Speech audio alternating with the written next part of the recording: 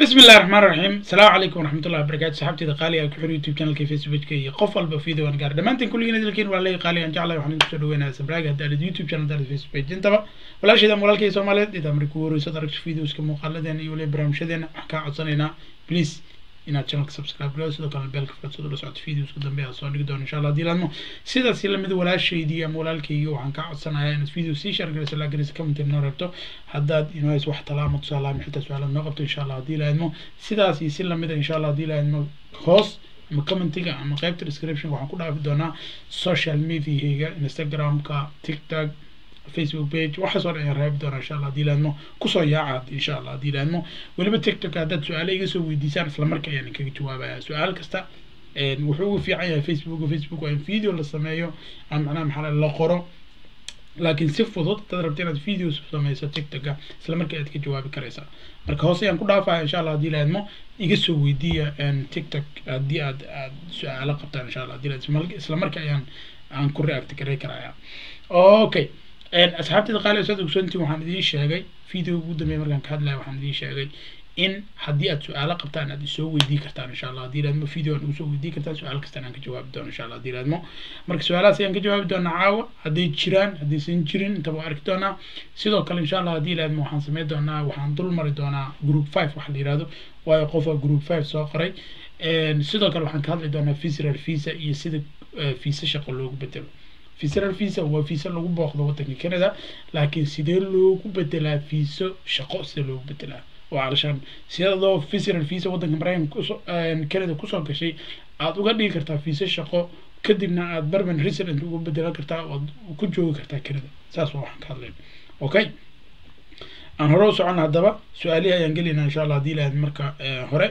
Mid kaloon idiin sheegaya waxaa asxaabey qof kasta oo videogaan arka insha allah haddii lahayd channelka subscribe garay waayo videoska markaan dib u fiiriyo shan kun oo view video ayaan tusaale kale fiiriyey. Saddex kun oo qof oo ka mid a oo view garayso daawatay videoga dhan wada daawatay.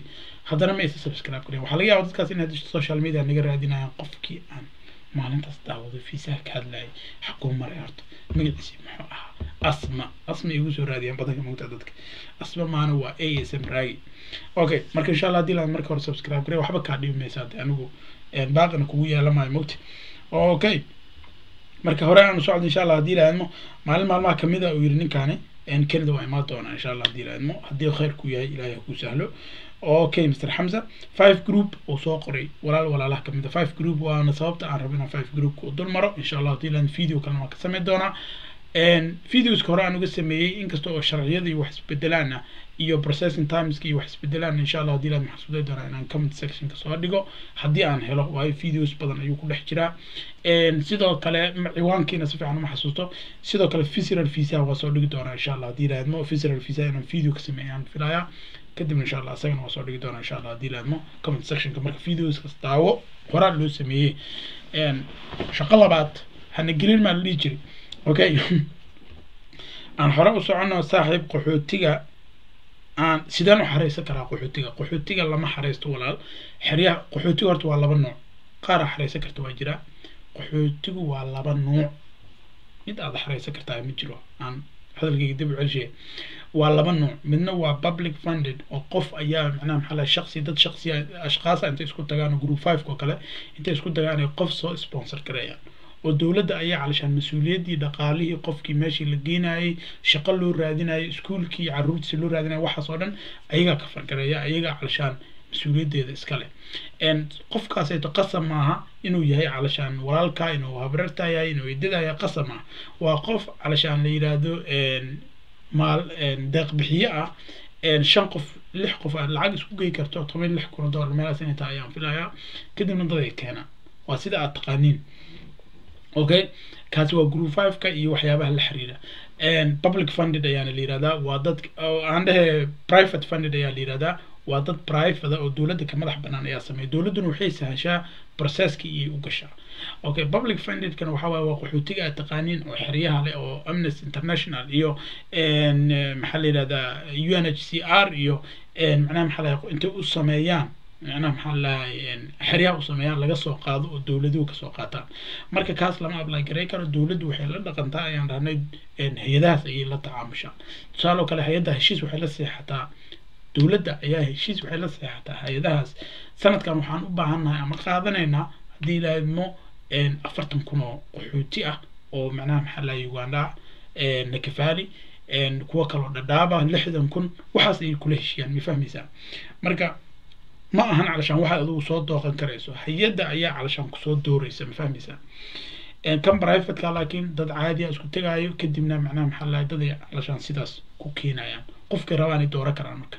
Qofku laakiin inuu qaxooti yahay kaar qaxooti haysto ama dowladda ka haysto tusaale oo kale markaan kenya ku soo qaxnay oo kale kaar qaxootiyana siiyan sooma waa inaad kaar qaxooti haysato ama dowlad ka hayso ama hay'ad caalamiya ka hayso ee qaxootiga qaabilsane marka saas ayay noqonaysaa insha allah haddii laadmo la socda. Qaxootigu marka wax la apply gareysta maan walaalkaas aan uga jawaabayay inaan qaxootigu wax la apply gareysta uusan ahayn. Okay nasiibka allah nagu dara ayuu ri green card loo riga ayuu qofkaan ka hadlayaa insha allah haddii laadmo wixii khayr idiin ah khayr noo wada ah insha allah allah na wada waa na waafajiyo. Su'aasheeda waxaa weeye sidee loo buuxsadaa sanadkan? Waa maxay farqiga sannadkii iyo sanadkan u dhexeeya? Okay sidee loo buuxsadaa? Ah. Runtii sidee loo buuxsadaa? Ma fahmin. Maxaa la buuxsanayaa? Okay my question is how? Okay what's the difference between the year and the, um, the ma fahmin in adeero ma fahmin warkaas sidee loo buuxsada haddaa ka hadlaysa qaxooti qaxooti lama buuxsado qaxooti lama buuxsan karo sida hadda ka hadlay su'aashaada waan kusiiyayaan malaynaya baasaboorka soomaaliya ma ku xareysan karaa program programka amal okay yeah baasaboorka soomaaliya wuu shaqeynaa waad ku xareysan kartaa. Laakiin sida aan sheegay baasaboorku badanka dowladda canada ma aana fiirin runtii horta aqoonsiga baasaboorka soomaaliya heerkay ka joogto. Laakiin baasaboor ahaan inay shaabada ku dhufanayso ilama visa waxaa lagu siinaya waraaq ahaan. Okay okay saxaabay aan isla socon insha allah haddii laadmo laakiin marka laga hadlaayo qaxooti marka laga hadlaayo basaboor cidna kaama rabto waa qaxooti ayaaba tahay. Basaboor cidna kaama rabto. Qaxooti aan video ugu horreey uga hadlaynay. Haddaad green card lorry ka hadlaysana waad ku apply karaysan kartaa basaboorka soomaaliya. Assalaamu calaykum walaal su'aashaydu waxaa weeye haddii fiisaha maraykanka aan haysto canada xuduudkeeda maan isaga dhiibi kartaa. Haddaad haysato fiisaha maraykanka miska labadaas wadan aada ayay xiriir u leeyihiin calashaan waa isku dhow yihiin. Calashaan qofku marka uu iska dhiibayana waa inaad haysan calashaan documenti iyo far lagaa qaaday iyo wixii o dhan haddaad haysato sabab aad calashaan isaga qaadi karto. Ama macnaha maxaa lahay aad ken canada u aadi kartaanba jirinba de waayo maraykankaa fara lagaaga qaaday. Laakiin tusaale kale haddaad green car haysato canada caadiad uga shaqaysan karaysaa labada wadan aada ayay isugu dhow yihiin haddaad canada sidaas ugu jeceshahay residencyga hel. Haddaadba fiisaha haysato aad calashaan waddanka maraykanka soo geli karayso maraykanka imow fiisaha berman residencyga waxaasoo dhan hel si sifa sharca sifa sharciga ku tag maxaad calashaan duurka u maraysaa okay maxaa haray? Soomaaliya misa.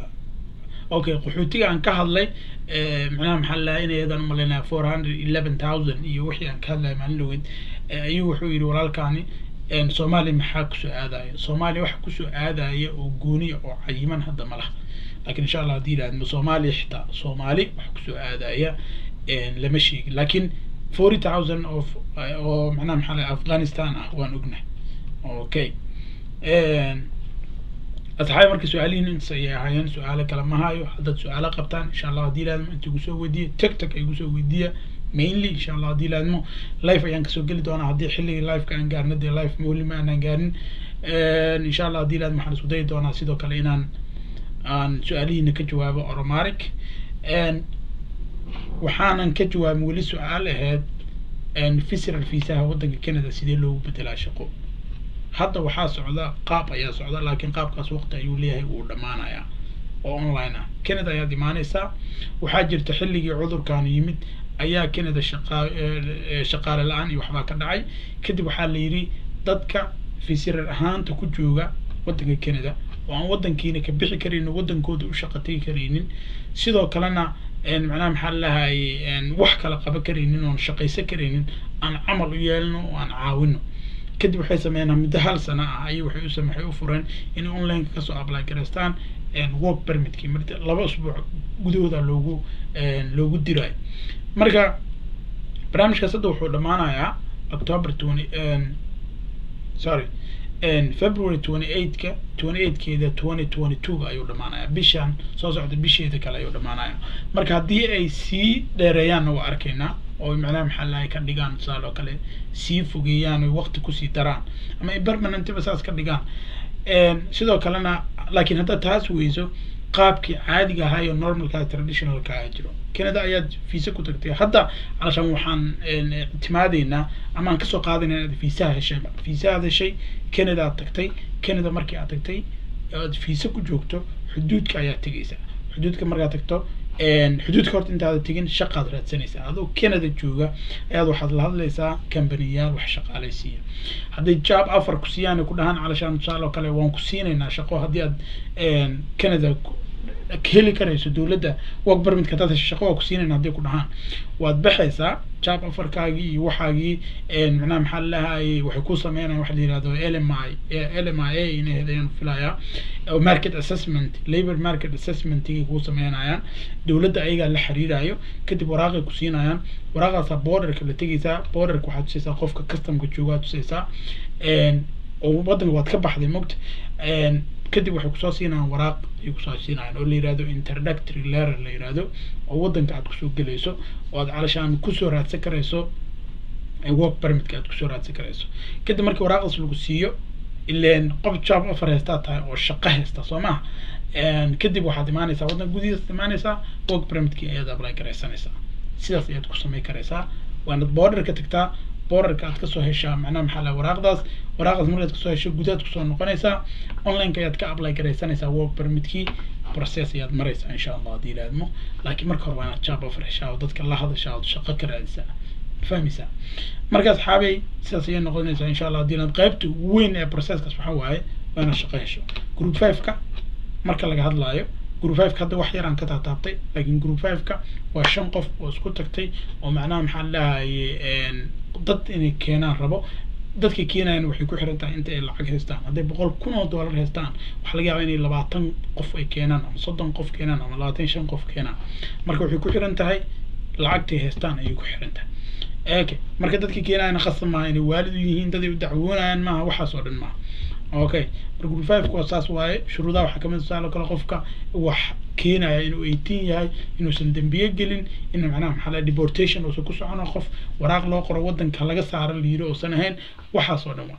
Qofka ee la keenayana processki ayaa la marinayaa background check ayaa la marinayaa inuu inuu macnaha eighteen yahay qasab maaha laakiin background check ayaa la marsiinayaa waa inuu qaxooti yahay waa inuu waddankiisa uusan joogin waddankiisa uusan joogin maxaa la yidhaha qaxooti waddankiisa kuma noqon karo qofku. Qaxooti caadiga kuma noqon karo. Waxaa la yidhahdaa dadka gudaha ku barakacay ayaa la yidhahda barakacayaal ayaa lagu magacaaba ma fahmaysaa? Laakiin qaxooti laguma magacaabo. Dadka gudaha macnaha maxaa la nabadgelyada ku hayso? Tusaale oo kale soomaaliya oo kale xariiq qaxooti ayaa jira soo maha internally internally displaced people ay dhahaan. Dadka gudaha ku barakacay waddanka gudihiisa dadka ku barakacay iyo qaxootigu way kala duwan yihiin. Qaxootigu waa qof waddan kala aaday duruufu ku kaliftay nabadgelyo la'aan ku kaliftay marka insha allah saasay noqonaysaa saxaabi khayr badan inin dhaafayaa insha allah haddii ilahay maxaan ka jeedaan channel subscribe gareedaan nala socotaan insha allah haddii ilahay videoskana soo su'aalaha na soo weydiisaan insha allah haddii ilahay videos kalena aan soo wadnaa haddii ilahay mo khayr badan inin dhaafay. Hoos waxaan ku reebi doonaa video ka hadlaya invitation macnaha maxaa la dhahaa visit visa. Istirtiraya caawo videogan bobsiinaha waqtigaa dhamaaday visit viisaha ama tourismka. Sidoo kale waxaan ku reebi doonaa insha allah haddii ilahay group five-ka. Haddii aan israado wax badana isbedelay sida processing timeska iyo waxaas isbedelena insha allah ilahay video kale ayaan ka soo samayn doonaa. Khayr baan idin dhaafay. Wasalaamu calaykum waraxmatullaahi wabarakaatu